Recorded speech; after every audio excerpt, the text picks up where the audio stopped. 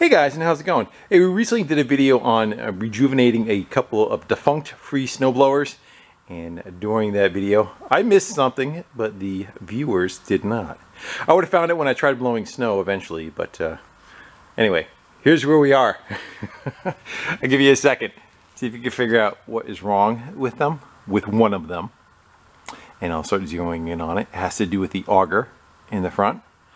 The one on the right is correct. The one on the left is not correct. Do you see it? Uh, zero in more on it. The auger in the front spins this direction. And it has to be able to draw snow to the center and then the impeller throws it out. If you look at the pattern on these, the way they're scoped, they would draw snow to the middle and do such. This one, not so much.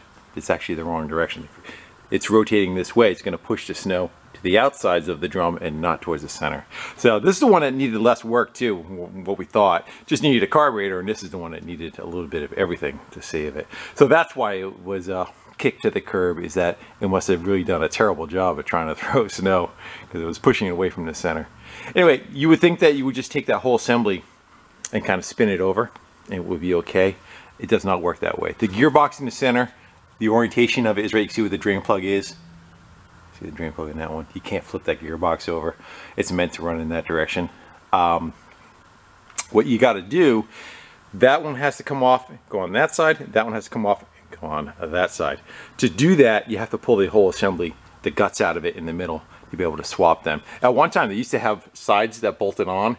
We could have slid them out from the side, but uh, that's not going to be an option for us. So hopefully the flywheel and the pulley in, on the inside can come apart fairly easy so we can remove that assembly out. Sometimes it rusts up solid and can be a bitch.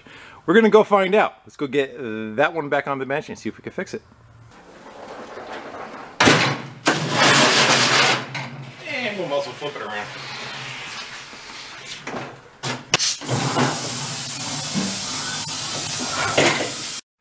So it definitely means that somebody had a problem with this once before. My guess is the gearbox was gone. There's a like a brass worm gear that's inside of here. That generally blows out.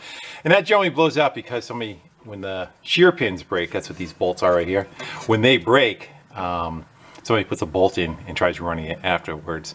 And uh, instead of having the bolt break, it takes out the gearbox in the center. So somebody did that and then just wasn't aware of putting these on backwards. Also had to make sense too, if you look at it, the teeth are facing the wrong direction.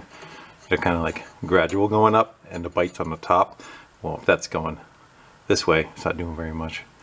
Uh, we can address it, you know, sometimes you could take the whole assembly out with that rear impeller as one assembly, or you could try, if you look in, right in the middle so you get some better light on it, there's a couple of drift pins right there. Roll pins, one there and one there. You can drive them out and try to get this shaft away from this and have that whole assembly come out. And on the sides, you just unbolt the uh, bushings or bearings that are on the side and let it slide forward and you can slip them around. And the other part too is sometimes this will seize to the shaft that's on the, in, on the inside. And if you look, they're both free, so we're good there. That one seems like it's moving.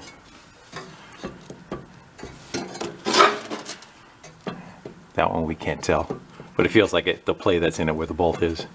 Looks like it's okay. Let's go pop the belt cover off and take a peek, a peek, a peek. Let's take a look inside there and see if there's any easier option to get that pulley off than trying to split it right, right there. Yeah, a friend of mine, Brian, needs a machine. I was going to give him one of these. Uh, unfortunately, he's probably seen the video, but it would have been fun to give him the machine and try and try to watch it. Trying to watch him blow snow. All right, so this pulley would have to come apart and come off of there. And a lot of times that stuff rusts up. Again, it's a snowblower, it's using the snow all the time. Let's see if we can uh, take a peek. So there's going to be a like a jam screw on this bottom wheel and then if you can get this loose this will stay behind and you can push the shaft right out I think the I think it'll slide out of that bearing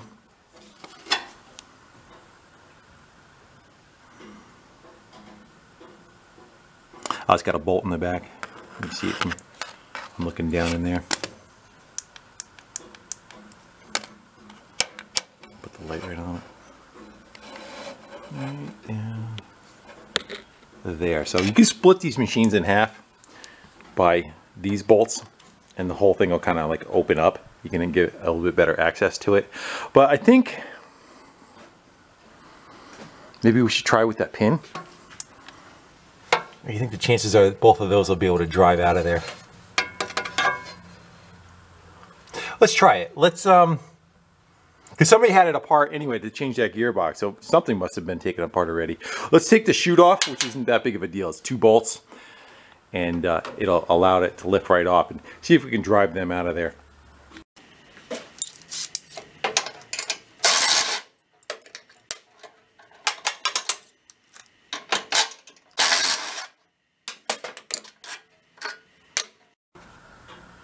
Should be able to lift that right off of there now.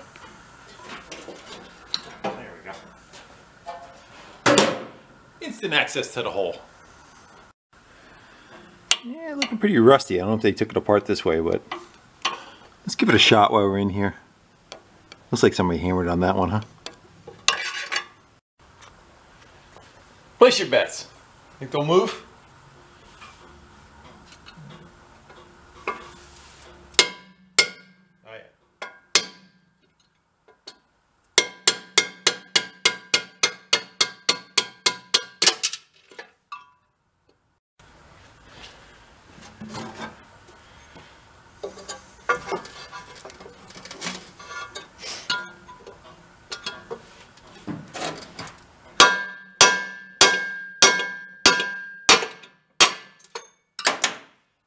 on now. The chances are that that's free. Oh yeah, perfect. Nice. Let's go uh, unbolt our sides.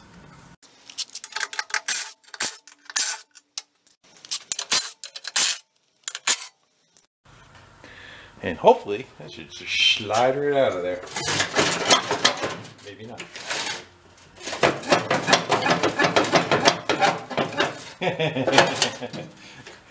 I still think it's pinned in the back. I thought it was two separate shafts. I think it's one shaft all the way through the front pulley. Whoops! That's why I thought it had two pins in it. I suck. So it's going to be this bolt and the one on the other side. I think the bottom ones can stay in. The machine can just kind of do one of these.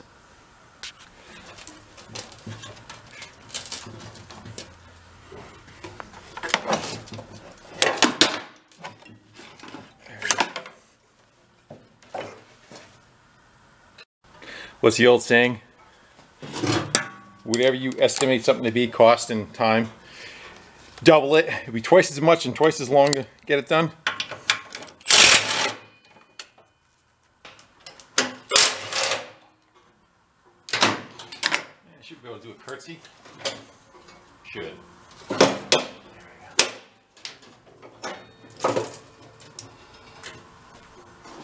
Now we can get that bolt off the pulley and a lot of times, unfortunately, this will seize to it. But we'll see. Let's get the belt out of there. I got a half inch. Yeah.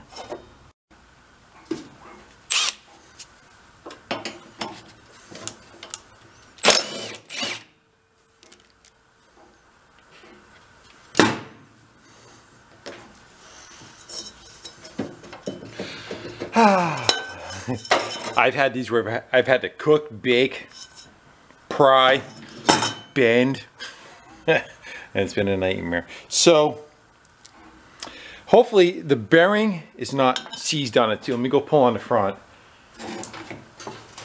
There we go. All right. Now we got it.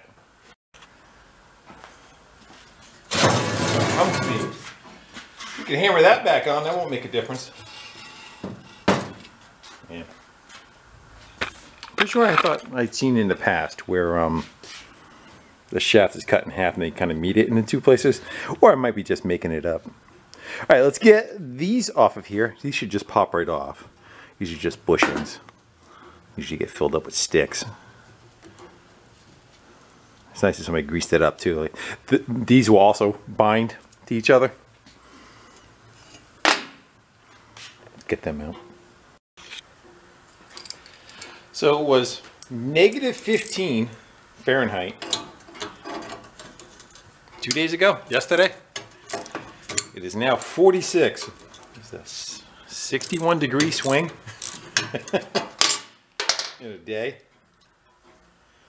These these are called shear pins. A lot of times there'll be like lines in them that will break. Clean the grease off. You can see what I'm talking about. You can even see this one's got a little bit of a kick to it. It was, it was starting to break. I should have some new ones here, but they have like lines that after a certain pressure, they'll fracture and break. There's a line there and another one right there. Go pop the other one out. We'll swap them from side to side. I think at some point it was getting so common for um, machines to fail because people were just putting bolts in them. And that's what, you know, what else are you going to do? You're, you're in the middle of a blizzard. You can't get out of your driveway. So you can go get parts. That the machines, they started storing uh, extra shear pins right on the machine. They kind of like a little compartment for them.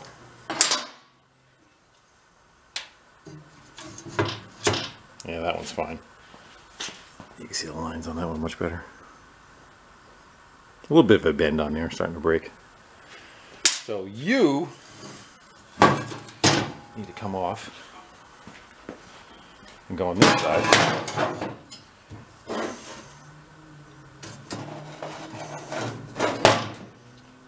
You gotta go there. And this one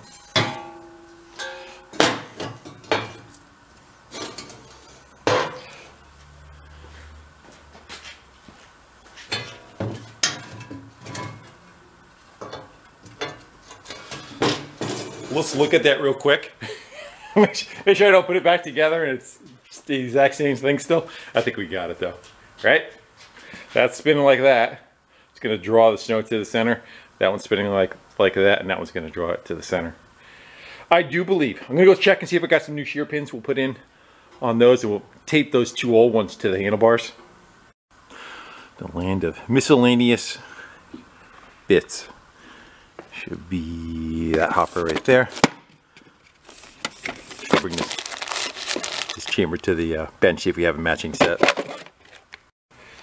So we're looking for a set of them.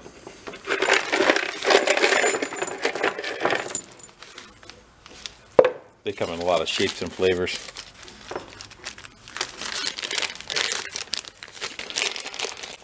We might not even have them. Well, I guess those are going back in. I'm one more bag to check. Is that it? Never opened. Yeah, too big. Is for a bigger machine. You don't see him, do you?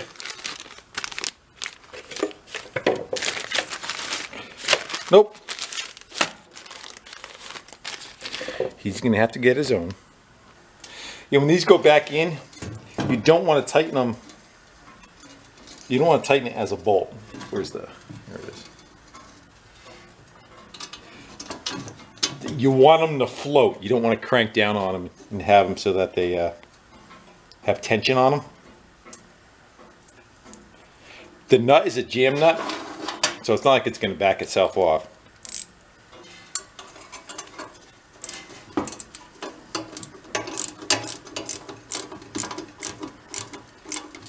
You want to still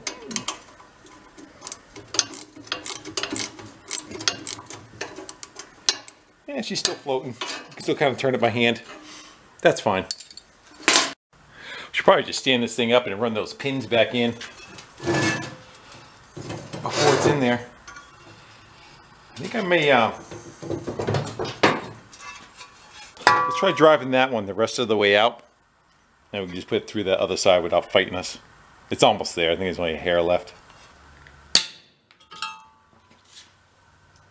You're free we just start them again, I guess.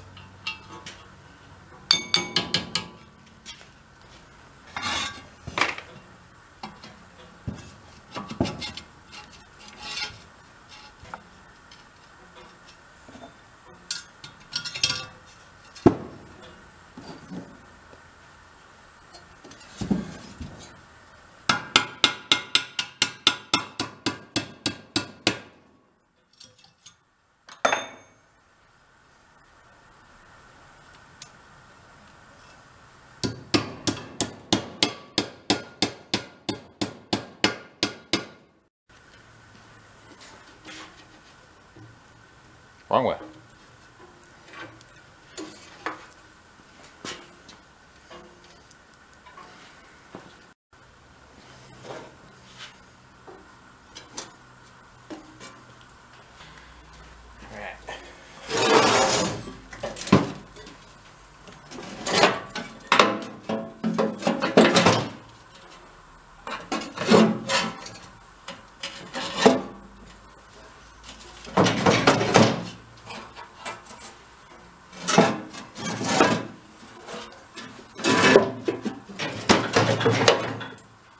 It's in the hole.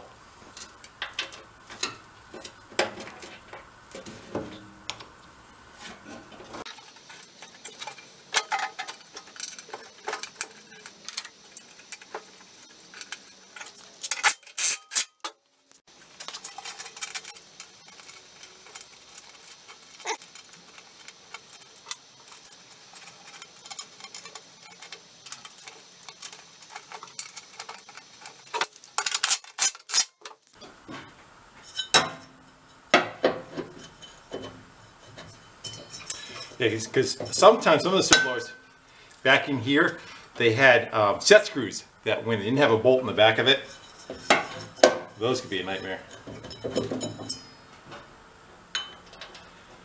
Glad they went with this.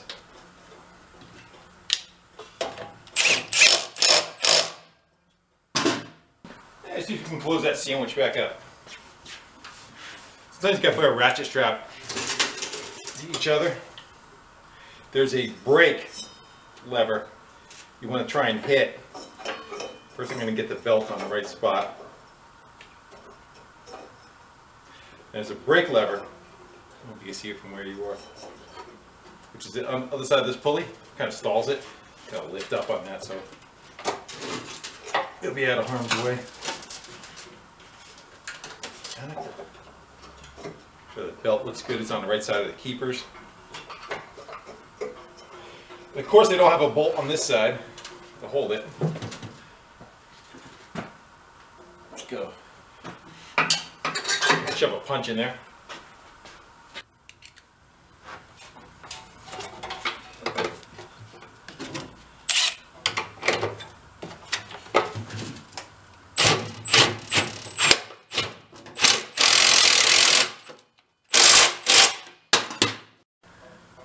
That's that water you hit and hear dripping in the background. It's like a drum.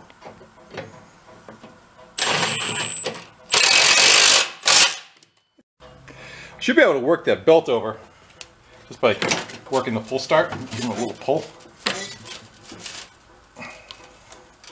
Yes, no, maybe. I'm gonna keep it on the idler too. There we go. Check the lever. Looks good. Keeping nothing but you can't come in. This should just slip right on. It's just got two bolts in the back and then the rod goes across the top.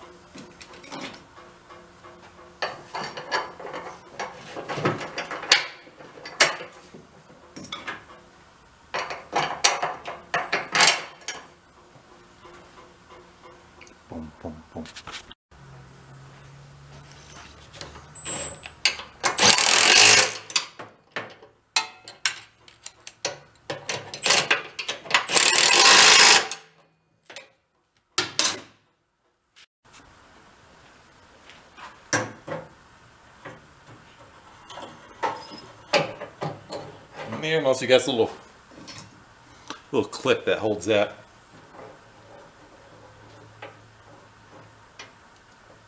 Where's the hole? All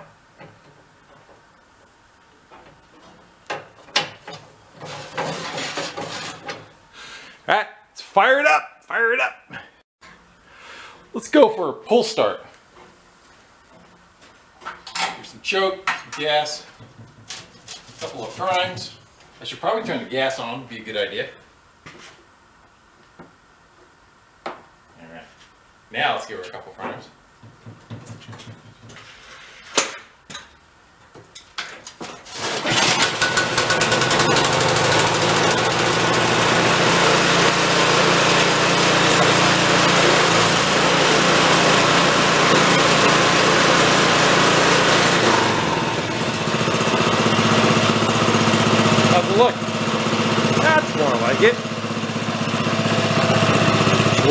draw the the middle. Good. I'm gonna run around a grease gun, hit those contacts. Pulley looks a little wobbly, huh?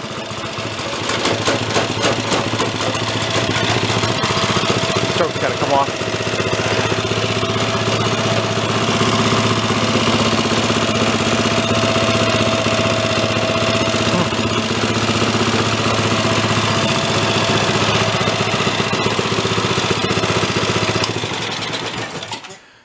Course, sure what's happening with the wobbliness of the pulley. It's tightened all the way down. It's not like it has any place.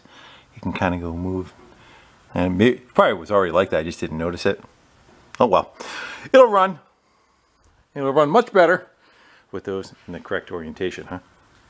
All right, go pop that cover back on.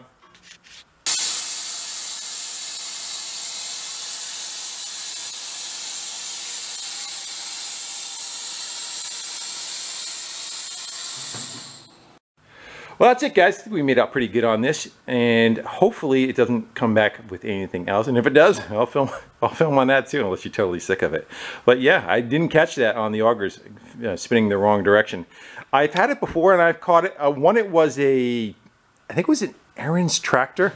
I had, and this is probably about 10, 15 years ago. So the tractor had like a 48 inch snowblower on the front of it and of course it was used.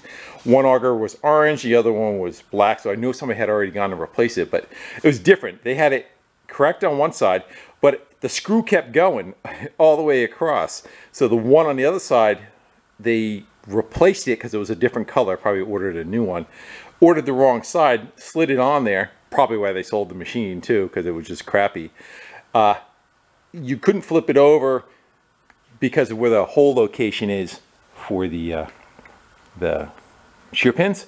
But I, I, just took it off, flipped it around, put it back on, and just drilled a new hole. And then that one was okay.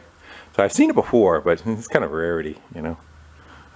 Hopefully this one will work much better and blow some snow. It's going local. I have no snow to kind of run them in. I kind of like to, uh, you know, function test them, put them under a load, make sure there's not going to be any issues with them before they leave here. But uh, this one's getting given away local, and I'll know soon enough whether it's got an issue or not. If it snows again. Right now, there's just frozen ice out there. There's nothing to try to go move. All right, guys. Well, thanks for catching that one, and uh, we'll wrench on something else pretty soon. Until then, I'll see you later. Someone was asking me what this is on the locker in the background, the uh, the woman kissing the dog on the head, and um, this is the I kind of make scrap art stuff. I don't show much of that on video anymore, but the idea was to draw something. This is the, the hand-drawn part, and I transferred that over to metal, and I made like a, a three-dimensional version of this out of metal. I'll show you that in a second, uh, but that's just answering the question of what that is. There's just two pieces I was talking about afterwards. Just recopied, made double sections of it, and made it about, I don't know, about an inch wide in between. And they're just separate. She doesn't stay up by herself, though. Gotta keep kissing.